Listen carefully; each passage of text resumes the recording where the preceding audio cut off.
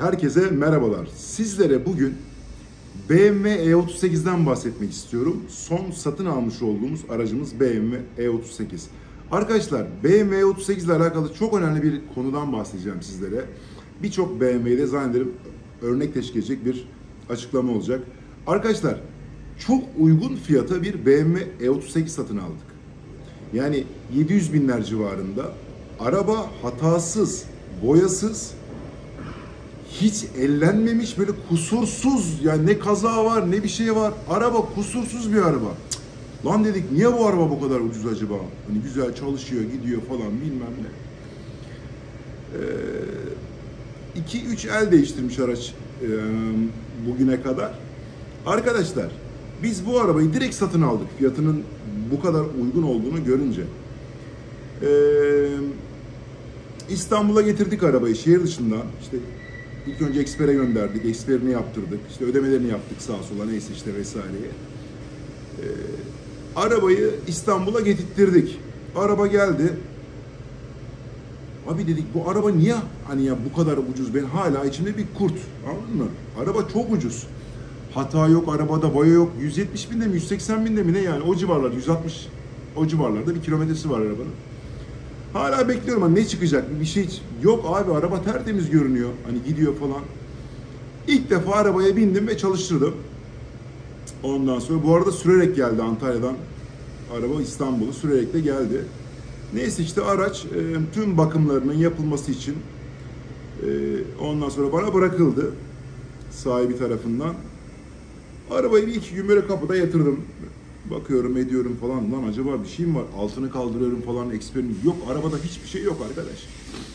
Arabayı çalıştırıyorum falan işte güzel çalışıyor gaz yiyor bilmem hiçbir sorun yok. Aldım arabayla şöyle bir test sürüşüne çıktım. Araba gitmiyor.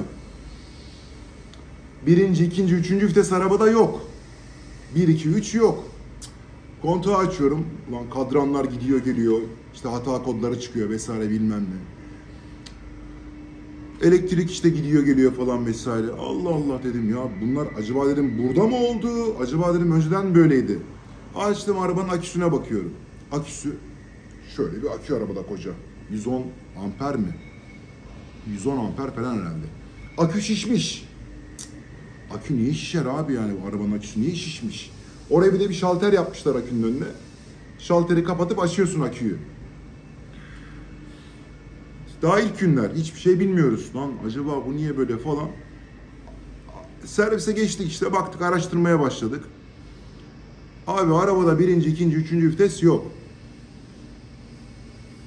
Aküye baktık şişmiş. Yani bir arabanın aküsü niye şişer? Şarj dinamosu çok fazla şarj yaparsa yahut da şarjla alakalı bir sıkıntısı varsa bu akü şişer abi. Hemen şarj dinamosuna baktık. Şarj dinamosu 20-24 volt şarj ediyor.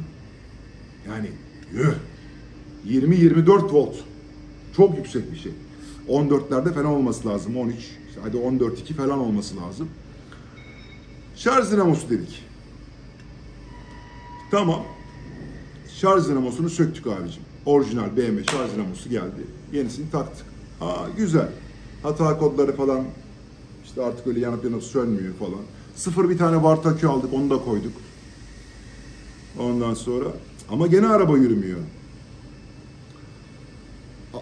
Şimdi yani o kadar komplike ve zincirleme bir sorun ki. Bak dinleyin. Şarj dinamosu 20-24 volt verdiğinden dolayı arabanın beynine, şanzıman beynine ve motor beynine, EQ'ya e, şanzıman beynini yakıyor. Şanzıman beyni yanık bir şekilde bu araba sürüldüğü için anladın mı? Ondan sonra tribünler gidiyor. Ee, motor beynine sonra geleceğim. En son geleceğim. Motor beynini biz hiç düşünmedik. Tamam.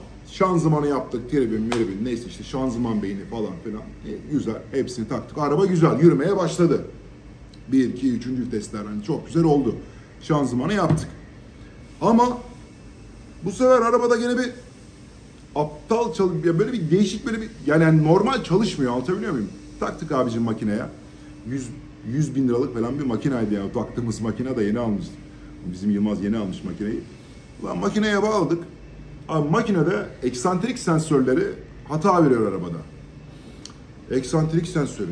Lan nasıl hata veriyor eksantrik sensöre? Bakıyoruz işte yeni almışlar ama yan sanayi. Dedik tamam.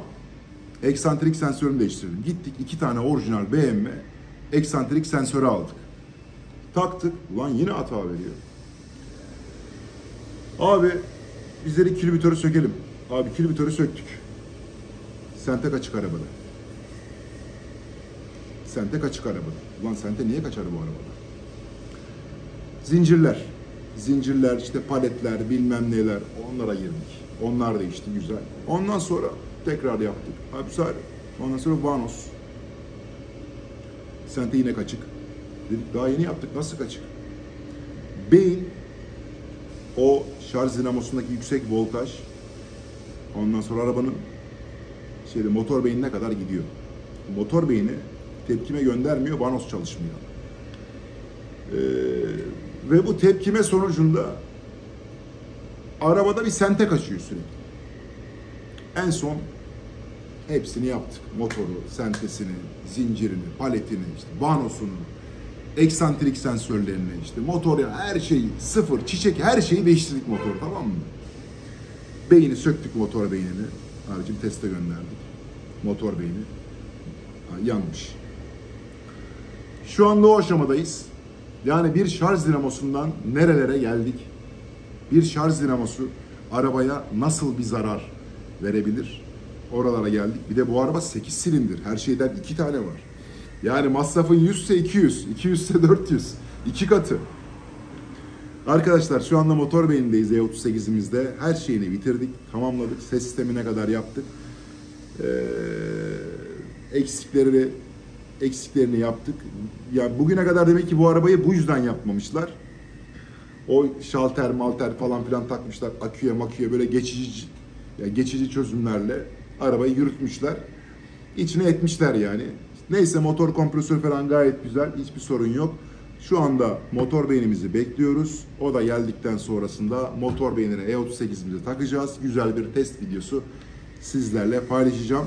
Bu hikayeyi de bilmenizi istedim çünkü bir şarj dinamosu nereden nerelere mal oldu arkadaşlar. Görüşmek üzere sizleri çok seviyorum. Eyvallah. Kazasız belasız günler.